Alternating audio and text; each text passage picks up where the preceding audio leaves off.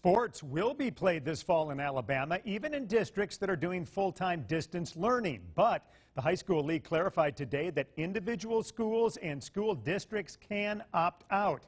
Robbie Baker has more on who will play and when and who will be allowed to watch. Yeah, high school sports in the state of Alabama will start on time with the first contest scheduled for August 20th. Today, we found out the best practice guidelines that the AHSAA has set forth to keep everybody safe when athletes return to their respective fields of play. Of course, we break this all down in depth on our website, WKRG.com, but a few standout points from today's press conference.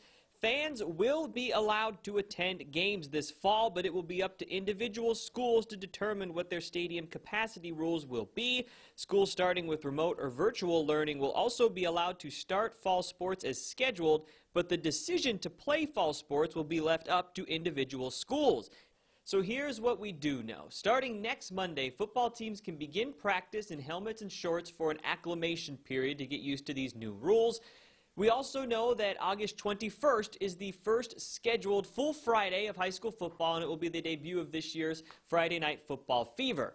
What we don't know is what the future holds. It was expressed multiple times during today's press conference that these best practice guidelines are put in place to get the season started with the hopes that if everyone follows them, the fall sports seasons can get played out in their entirety.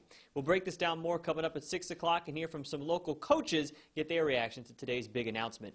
Robbie Baker, News 5 Sports.